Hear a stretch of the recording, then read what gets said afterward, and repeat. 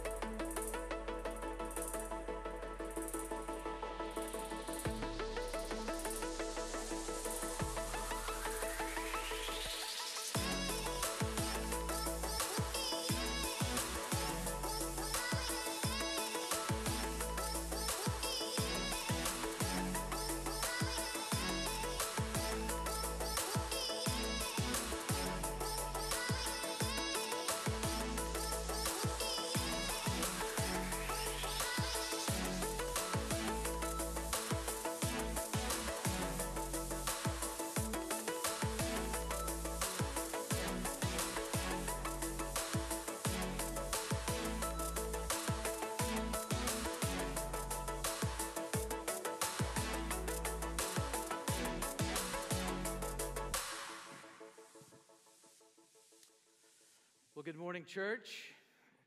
Excited to see some of you here this morning, and I know others will be joining us. I know there are those of you joining us online this morning. I want to say welcome to you, and uh, excited that you're here, and thank you for, for being in here to, to join us this morning. Uh, just a couple of announcements before we get started. Uh, first of all, I want to just say uh, special welcome to visitors that may be with us this morning. Uh, if you will, on the screen there, notice the we have a it's we've changed up our contact. We used to text welcome to a, number, but we were consolidating between our traditional service and Ignite service now. So uh, if you are a guest with us, uh, please text uh, SSFUMC to the number 22828. And that will get you on our, our list for, for information. And we want to keep you informed of what all is happening and, and invite you to be a part of, of everything going on here at First United Methodist Church.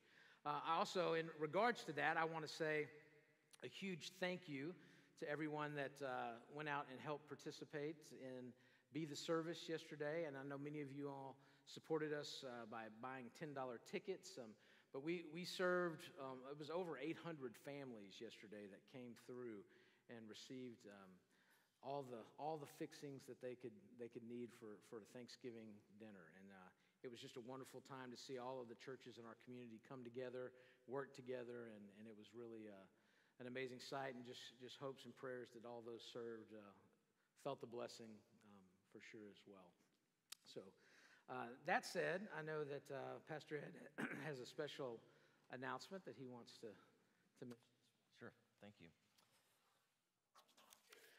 So I think um, many of you, if not most of you, uh, know that several weeks ago, Emily Schindel stepped down from being our children's director, and we um, made mention of that then and, and celebrated her ministry. But uh, we wanted to really take time this morning to do that again. Uh, after having given birth to Elizabeth, she has been away from us for a while, and now she's able to return to worship with us.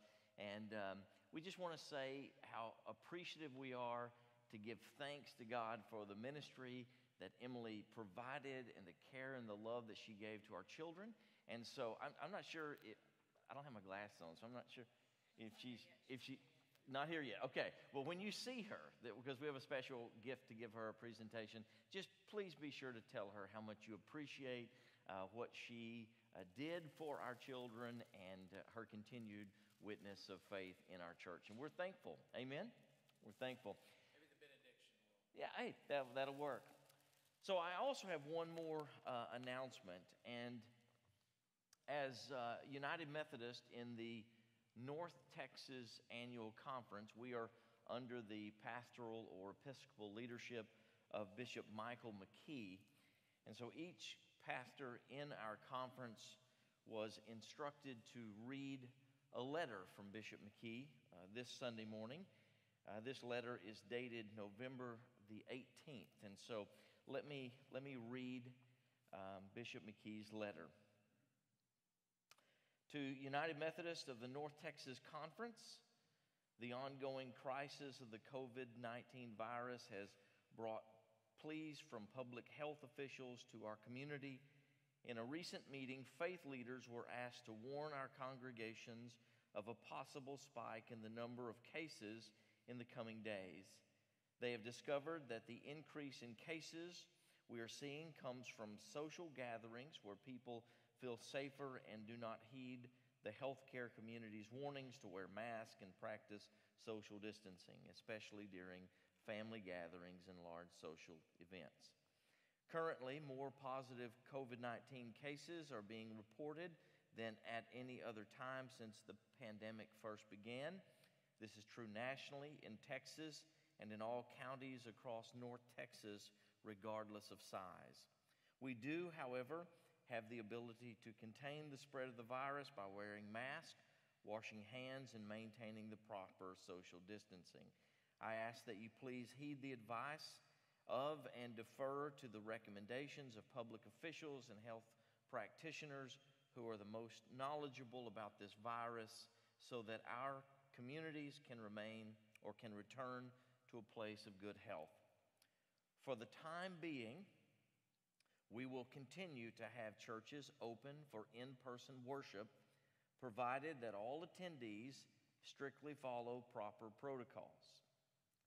As vital as a, vi- a vital part of this is wearing masks during all phases of the church's worship service, from before you walk into the building and including your time in the pews. There are pastors who, knowing the context of caseloads in the church's community, may choose to suspend public worship for a season, and I would support your pastor in making such decisions. Please know, however, there may be a time when all in person worship will be suspended. As people of faith, we place a considerably high value on how we live together in community. This is a critical tenet of who we are as United Methodists. We must realize how our actions can affect our church community and the broader communities in which we live. We must act in ways that show our love for one another and lift each other up. Specifically, we must not do anything that could conceivably harm others intentionally or otherwise. We will wear masks. We will practice social distancing. We will do no harm. For more than eight months, we've been challenged in ways that many of us could never have imagined. Thank you for your perseverance and faithful witness, which has made us stronger, a stronger church. May you have a blessed Thanksgiving. Peace, Michael McKee. Let's pray. Our Father, we gather in this place to worship you. And you are holy, and you are worthy, worthy of our worship. And so, Lord, gather our hearts and our thoughts and our minds and bring them to you. Prepare our hearts this day. Work your work of grace in us. Help us to hear your word of grace and truth. We praise you. We love you, but you loved us first. We know that. And we worship you, and we worship you in Christ's name. Amen. Let's stand and worship together.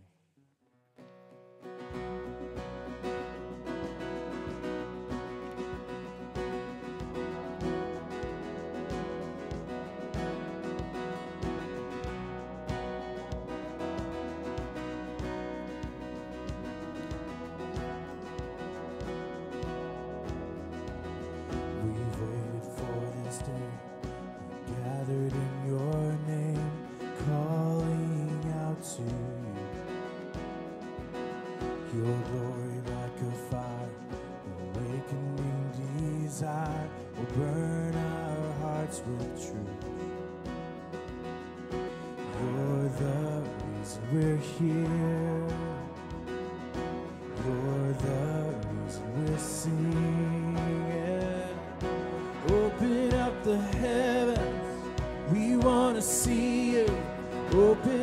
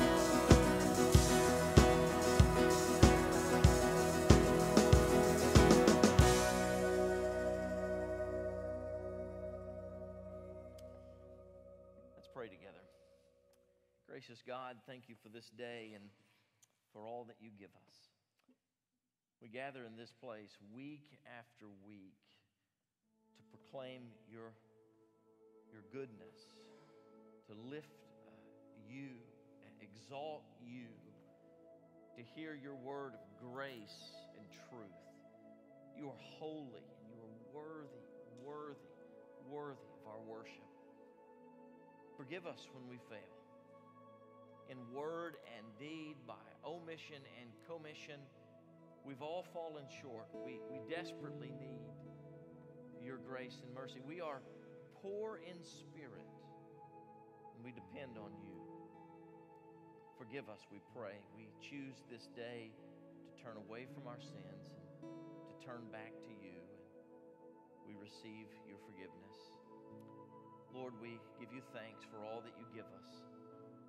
We, we lift up our community and those who are ill. We pray healing for them. We pray for those who are wandering, and we pray direction for them, for those living in a season of confusion. We pray clarity for them. Lord, we entrust them to you. We entrust our own lives to you. Lord, we choose to trust you today. We choose to trust you today.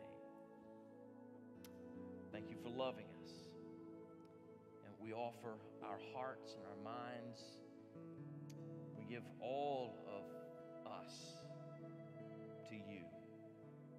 And we join our voices and we pray together the prayer that Jesus taught so long ago, praying Our Father, who art in heaven, hallowed be thy name. Thy kingdom come, thy will be done on earth as it is in heaven. Give us this day our daily bread, and forgive us our trespasses as we forgive those who trespass against us. And lead us not into temptation, but deliver us from evil. For thine is the kingdom, the power, and the glory forever.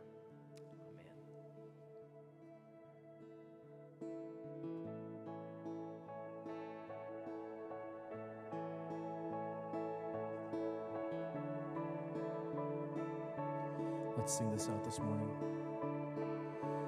For we trust in our God, and through His unfailing love, we will not be shaken. We will not be shaken. We will not be shaken. Just lift that up. For we trust in our God,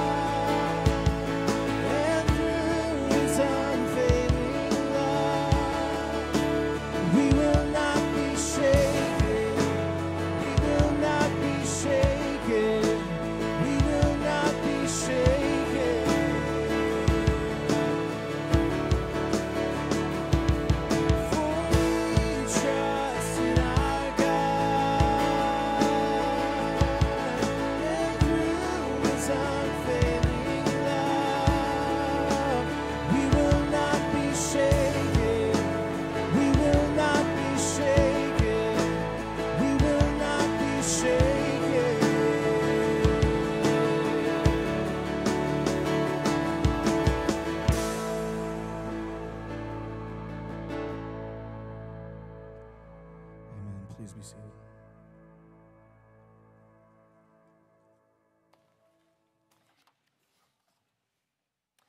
If there are children who desire to go to children's church, you may meet Miss Jane at the back door at, at, uh, at this time. Also, uh, Jason, if you will come up.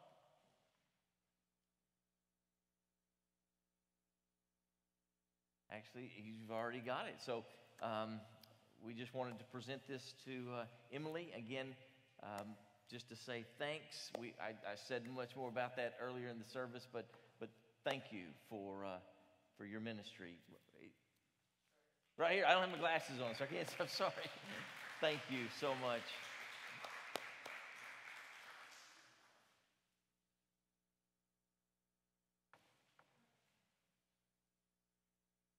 Amen. Thank you. So, we're going to continue our series this morning through the Beatitudes. Please open your Bibles to Matthew chapter 5. Matthew chapter 5. We will read verses 1, uh, let's read verses 1 through 12, and then I'll come back and pick up on our, our focus verse this morning. Matthew 5, 1 through 12. Seeing the crowds, he went up on the mountain, and when he sat down, his disciples came to him. And he opened his mouth and taught them, saying, Blessed are the poor in spirit, for theirs is the kingdom of heaven. Blessed are the poor, uh, blessed are those who mourn, for they shall be comforted. Blessed are the meek, for they shall inherit the earth. Blessed are those who hunger and thirst for righteousness, for they shall be satisfied. Blessed are the merciful, for they shall receive mercy. Blessed are the pure in heart, for they shall see God. Blessed are the peacemakers, for they shall be called sons of God. Blessed are those who are persecuted for righteousness' sake, for theirs is the kingdom of heaven. Blessed are you when others revile you and persecute you and utter all kinds of evil against you falsely on my account. Rejoice and be glad, for your reward is great in heaven, for so they persecuted the prophets who were before you. This is the word of God for the people of God. Thanks be to God. Will you pray once more with me? Lord, we uh, open our hearts and our minds to your word of grace and truth. You know everything about us. You know us better than we know ourselves. Gracious God, help me to say what you want me to say and say it in a manner that is helpful to your people, a manner that's glorifying to you. So we entrust this to you as we entrust everything to you. And we pray this in Christ's name. Amen. Few words in the Bible are misunderstood more than the word meek. Really, I, I think probably few words in the Bible are misunderstood more than the word meek. We often don't know what it means. We don't know what it, it looks like when it's lived out in the real world. And, because of that, we just kind of shun the word altogether at times. And yet, Jesus says, Blessed are the meek, for they shall inherit the earth. I mean, even if I don't know what that word means, just from Jesus' words, I know it's got to be good. Right? It's got to be good. And so this morning, that's our focus this morning. Blessed are the meek, to try to dig down and, and figure out what, what that means when Jesus says, Blessed are the meek. Let, let's start this week, as we've been doing each week, with the words in the text. We'll start with the word blessed. It happens every week. Each of these Beatitudes start with that. And so the word blessed is sometimes translated or rendered happy. Um, but the, the English word happy just does not do justice to this word. It can mean blessed, but, but the English word blessed usually sort of implies upbeat attitude or pleasant circumstances. Blessed is way more than that. Blessed is a much larger understanding. Blessed is about God's favor. It involves salvation, forgiveness, participating in the work of God, the work of the kingdom. Each week I've, I've referenced uh, the Virgin Mary, Jesus' mother. Let me do that again. She is called blessed in the scriptures. And no doubt there were times that Mary was happy, but there were also times she was deeply grieved and wounded, but she was always blessed. God's favor was always on her, and she participated in the, in the work of the kingdom. And that, so that's what blessed means. The next word specific to this verse is the word meek. And my favorite definition of meek is, is power under control. Power under control. So the word meek means humble, gentle, lowly. It, it, the, the word meek just implies, denotes, if you will, the absence of retaliation. Uh, meekness does not push itself over on other people. That's what, that's what meekness is about. It's, a, it's an attitude, as one writer says, towards self, but also an expression towards others. So it's an attitude toward oneself, but it's an expression towards others. Uh, beca- because it means humble and lowly and gentle, uh, we sometimes m- misunderstand what it means. Uh, Martyn Lloyd-Jones has a great way of helping us to understand what meek is not. So, first of all, meek is not a natural uh, quality, but rather a supernatural quality. I don't have the power in and of myself to make myself meek. That's, that's, that's God's uh, work in my life. We'll come back to that a little bit later. Meek does not mean nice. Uh, nice is an attractive thing, to be sure. How many of you like nice people rather than rude people, right? Okay. It's an attractive thing, but that's not really meek. That's not meek. And meek is not weak. And I think this may be the, the biggest misunderstanding of the word meek is that we have a tendency to think that meekness equals weakness, and it doesn't at all. William Barclay and others, they really hone in on the, an ancient Greek use of this word meek. It was used to refer to the taming or the domestication of wild animals. You, you have this powerful, strong animal, and it is brought under control. Power under control. John Wesley says it like this, and you're not going to see this on the screen, but let me share this statement from John Wesley. He says, Meekness does not destroy, but balances affections or emotions, which God never designed should be rooted out by grace. In other words, God gives us emotions and affections. He gives us these, and, and, and some of these God never designed to be rooted out, but only brought and kept under due regulations. Meekness poises the mind aright.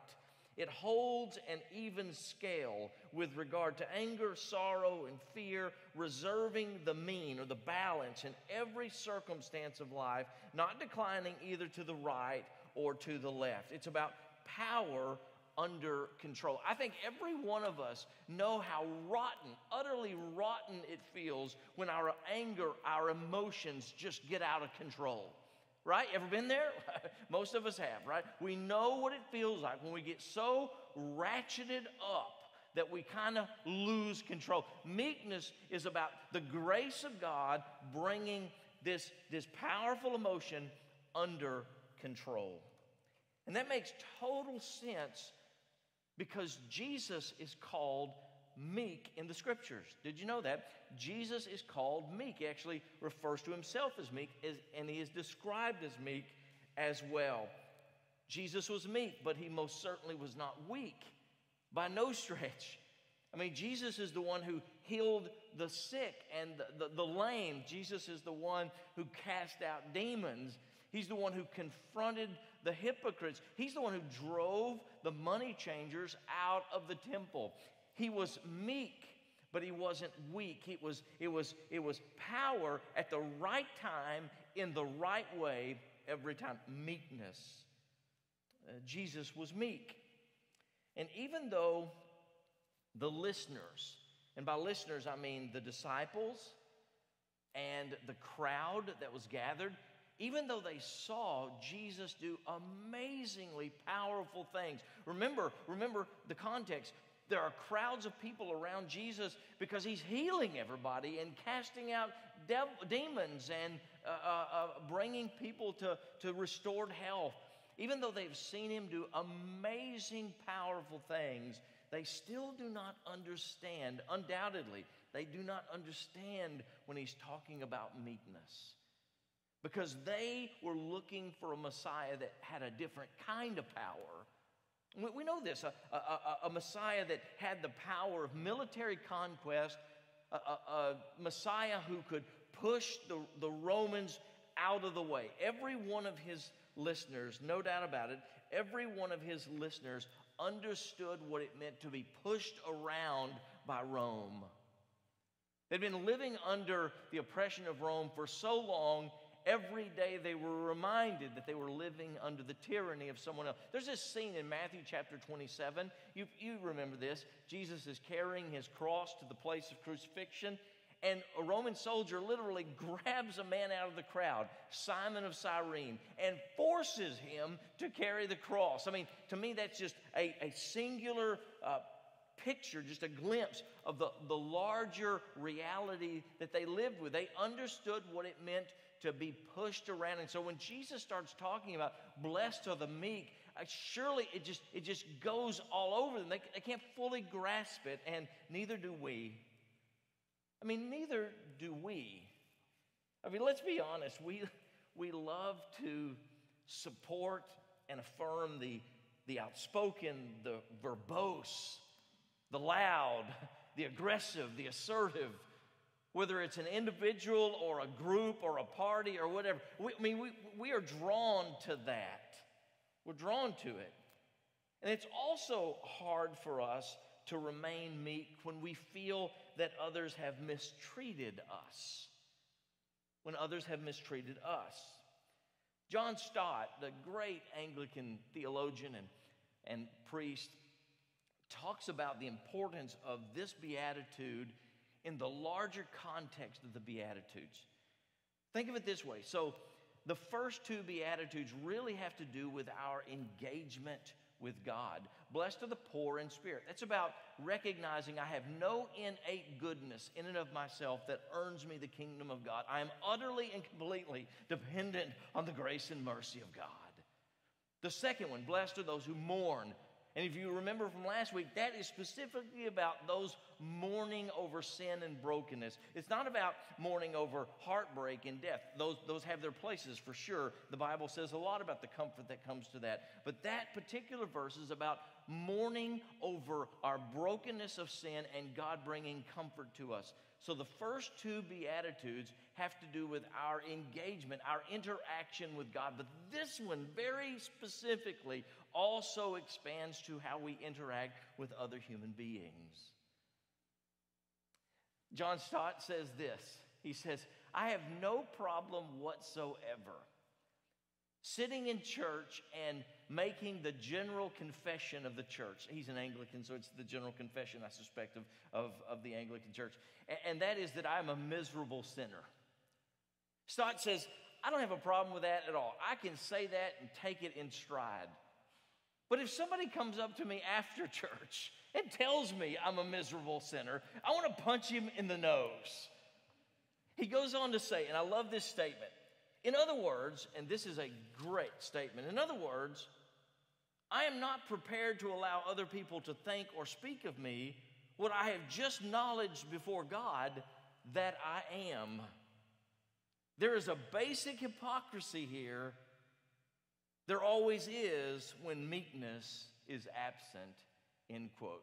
We say, yeah, but nobody should say anything like that to somebody else. True, but someone else's statement should never control how I respond to it. Meekness, power under control. Number three, blessed are the meek, for they shall inherit the earth. Inherit the earth. So, this actually comes from, before I share the verse, it comes from Psalm 37. Uh, let me give you the context of Psalm 37 because I think it brings this whole idea of meekness even more into focus. Psalm 37 begins this way Fret not for yourself because of evildoers, be not envious of wrongdoers. Verse 9 says, For the evildoers shall be cut off, but those who wait for the Lord shall inherit the land. And now comes verse 11, which is almost a quote, uh, uh, Jesus almost quotes this verbatim. But the meek shall inherit the land and delight themselves in abundant peace. Jesus speaks about the blessedness that comes from meekness because there is an inheritance to it. And, and this, this really sort of blows our mind because, at least in my mind, and I think I'm not alone, in the real world, like the, the world that you and I live in, meekness and prosperity and, pros- and success, they almost seem mutually exclusive. Because who are the ones who get ahead? The ones who get ahead are the loud ones, right? And I'm being loud right now, so forgive me. But the ones who get ahead, they're the ones who push others aside. The ones who get ahead, they're the ones who trample on other people. I mean, this idea of there is a blessedness that comes from meekness, it almost seems mutually exclusive, and yet Jesus says they are the ones who inherit the earth. Inherit the earth. This inheritance that that, that the children of God have is future and present. There's a future reality here. In Romans 8, we are called children of God and we are heirs with Christ. Think about that for a moment. If you are in Christ, you are an heir of the kingdom of God. In 2 Timothy, Paul says to Timothy that we will reign with Christ. And don't you love this statement from Revelation 21 7? At the end of time, John sees this I saw a new heaven and a new earth. Gina Prickett's mom, Jeanette, used to have a title company. She also worked with oil and gas companies, and Gina said that in her mom's office was this little, little sign, and it said, The meek shall inherit the earth, but not the mineral rights. Maybe that's true in this world, but in the new earth, it's all part of the inheritance. There is this future inheritance, Jesus says, and we can't even fully grasp what that means. But there is also, and this is important, there is a present inheritance. A present inheritance. Listen to these words from Jesus in Matthew 19 29. And everyone who has left house or brother or sisters or father or mother or children or lands for my name's sake will receive a hundredfold and inherit eternal life. Don't, don't miss the wording. There is eternal life for those who follow Christ, but there is also blessing here and now. The idea is that whatever we may give up for the Lord, whatever we may give, listen, God blesses us back a hundredfold. Now, He gets to choose how it happens, but there is a return, a, a, a blessedness that comes from saying, Yes, I surrender to you, Lord, and I will follow you and your way. I love this statement coming from Paul in 1 Corinthians chapter 6 verse 10. Paul is talking about the struggles and realities of the life in which he lives, the ups, the downs. I love these words. Listen, he says, having nothing but possessing everything. I love that. Having nothing but possessing everything. Paul, in this, in this, this state of, of, of, of, difficulty and struggle and adversity, he says, I don't have anything, but I possess every. I, I want to be like that. I, I, I want that sense of contentment, that, that sense of inheritance. You cannot put a price tag on that. I have nothing, but I possess everything. What a marvelous, marvelous statement of present inheritance. Paul is blessed, and so are we. So, those are the words from the text. The question is, how does this impact, affect our lives? So, let's, let's spend a few minutes talking about the implications of meekness. Number one, pursue meekness in all of our lives. Pursue meekness in our own lives. I've discovered a couple of things about myself. The first is I really like meekness if it's in the second person or third person, but when it's in the first person, I struggle with it. I mean, seriously, I love for you to be meek and I love for you to be meek. I love for her to be meek and for him to be meek, but I struggle when, when I'm called to be meek. I love second and third person meekness, but first person meekness really causes me to trip up. Here's what else I've discovered is I like to win. I do not like to lose. Now, some things I don't really care about. I mean, you know, if it's small things, board games, although Myra and David Watson, they, they, they don't like to lose at board games. But, but for me, board games, not that big of a thing. But there are some things that are very important to me. Very important to me. And I do not like in those things. And I do not like the feeling of being pushed around. Some would call it short man disease. I just don't like the feeling of being pushed around. I don't like that. Those are things I've discovered about myself. These are obstacles in my own life that keep me from meekness. I've also discovered a couple of other things I think are vital for me, maybe for everybody, I think for everybody, in pursuing meekness in his or her own life. And the first is that meekness and obedience to God go hand in hand. Meekness and obedience to God go hand in hand. Jesus was meek, but he was meek because he was fully submitted to the will of God. I guess the great, the great example of that is the prayer in the Garden of Gethsemane. He is facing the cross, it is before him, and he says, Father, take this cup from me. Nevertheless, not my will, but yours be done. He submits himself. He goes humble. He goes low in submission to the will of God. And there, that statement takes him to the cross where he will die as an atoning sacrifice for the sins of the world. I, I do not think that meekness, true meekness, is possible apart from obedience.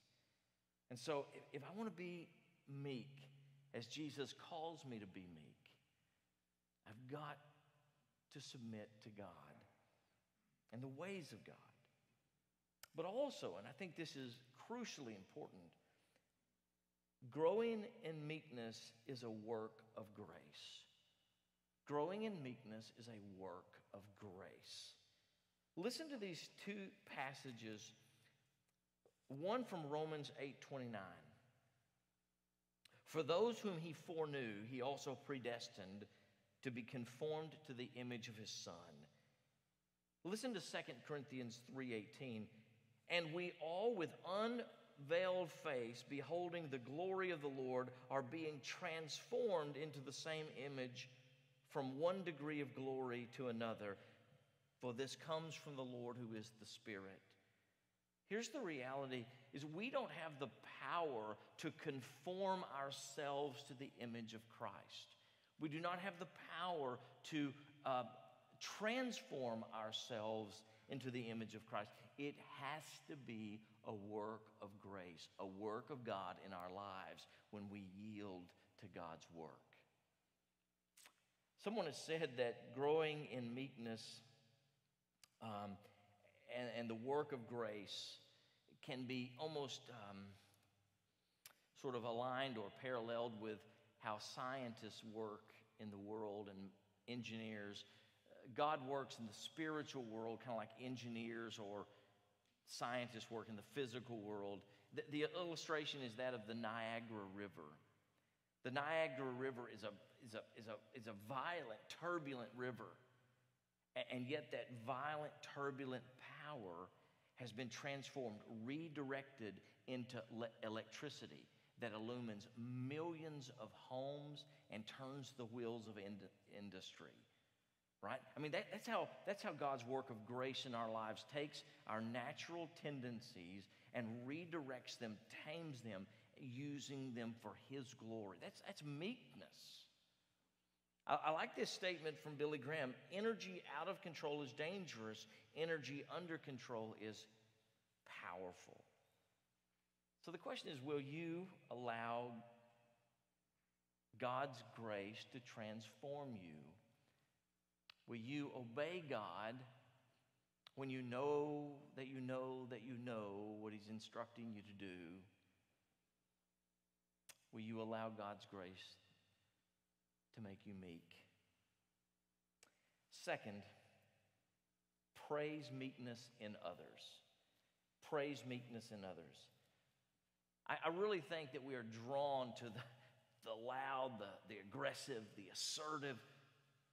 And, and the Bible and Jesus would call us to recognize and praise meekness in others. In our Bible study on Wednesday, we were talking about examples of meekness. And someone mentioned Tom Landry, Coach Tom Landry, right? I mean, he was an influential, strong, powerful, but, but, but meekness is probably a really good way to describe his, his posture, his, his personality. Tony Dungy, another example of that. I, I think I saw a beautiful example of meekness this past week. It was during the NBA draft, it was televised, and there's one particular player, he was drafted in the first round, he was the sixth choice for the Atlanta Hawks. And I, am going to mispronounce his name, but I'll give it a shot. Onyike Akognu. I'm sure that's wrong. I know that's wrong. But anyway, anyway, when it's announced, he is sitting with his family in their living room, and you know there's a television camera on him. And when it's announced, he just sort of folds and melts in this, this, this tearful, joyful celebration. Very quiet at that instant when he's, it's announced. And the first thing he says when the newscaster, the sportscaster, asks how you feeling, he, he said, and, and I know that athletes say this kind of stuff a lot, but he said it in such a way that I, I have no doubt it was, it was just genuine. He just, I, I just want to thank God for this. They ask his mother, what do you hope happens to your son? What are your hope? And, and I love this. She says, I hope he remains humble.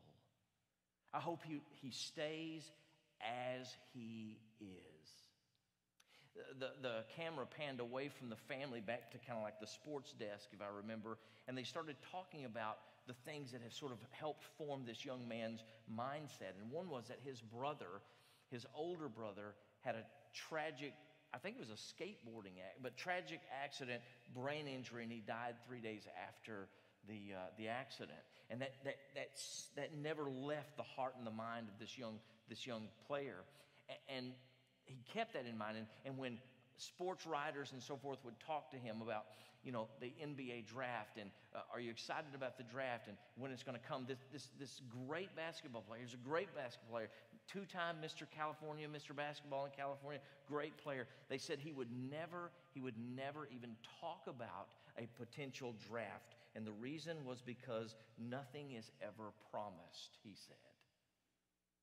Nothing's ever promised. And he was thinking about his brother. Uh, to me, it was just this incredible picture of a strong, powerful, great, but, but in control, meek, humble. I hope that we can recognize, celebrate, and exalt in a righteous way meekness when we see it.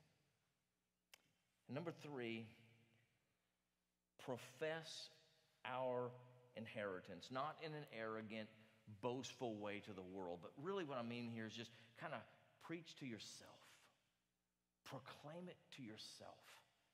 I don't know about you, but sometimes I got to preach to myself. I've got to remind me myself of, of what I, who I am in Christ and what Christ has done for me. John Stott says this, and I really like this statement. He says, The godless may boast and throw their weight about, yet real possession eludes their grasp. The meek, on the other hand, although they may be deprived and disenfranchised by men, yet because they know what it is to live and reign with Christ, can enjoy and even possess the earth which belongs to Christ. Then on the day of regeneration, there will be a new heaven and a new earth for them to inherit. I, I, can, be, I can be meek if I know that truly I have everything that I need, or, or I know that God will supply me with everything that I need. It, it's when I think that I do not have what I need. It, it's mostly when I think that God will not supply the needs that I have. That's when I. That's when meekness goes away. That's when I start clawing and pushing people out of the way. That's when I try to climb to the top, even if it means climbing over somebody else. In combat, they tell us that higher ground is the superior position. Higher ground is the superior position. I want to suggest to you that in the spiritual battles that we fight, and I also want to say I think that every battle we fight has a spiritual battle behind it or under it. The higher ground is when you get lower. It's getting low. Getting humble. It's meekness that's actually the superior position. Because that's when faith can be manifested. Jim Denison tells the story of John Harper. He was a Baptist minister who was on the Titanic when it sank. He um, actually gave up his seat on the life raft next to his sister and six year old daughter. He gave it up so that he could go back and preach the gospel to the doomed passengers. Uh, to put it in the wording of today's text, to share the inheritance with those passengers. He actually gave his life jacket to someone, and the person he gave the life jacket to, we know that person did survive. John Harper stayed on the ship continually proclaiming the gospel as it sank until he could no longer speak and he died. A few days before sailing on the Titanic, he wrote a letter to a preacher friend of his who had shown kindness when they were together. And I'm not sure exactly what these words mean, but I just love the way they are written. He writes these words to his minister friend The warriors are with me here and are doing well so far on the journey. With kindness and love, your loving old pastor, John Harper. Blessed are the meek, for they shall inherit the earth. Let's pray. Lord, you love us more than we fully grasp. And the fullest expression of the power of your meekness was when Christ gave himself up for us. Gave him up for an impoverished, spiritually impoverished people to provide grace and mercy for their sins, for our sins. Let us never forget this. Lord, if, if there be anyone here who's never made that decision to, to receive that, to accept that, then may this be the day. Through penitent faith, just trusting Christ and his sacrifice. And for those of us who have made that decision but continue to struggle in the world in which we live, help us to follow Jesus' footsteps by his grace that we may be meek, that we may be servants for the kingdom. And we pray this in Christ's name. So as you stand, I just want to make an invitation, I, and do this each week. I, I'll put on my mask and I'll be standing um, to the side of the, the platform. If there's something you'd like to pray about, I, I would love to pray with you. If there's anything, maybe there's a struggle in your family or at work, or maybe maybe this idea of getting pushed around and how to how do you follow Christ when it feels like you're man, you're you, I get it. May not understand fully your circumstance, but I'd love to pray with you about that or anything.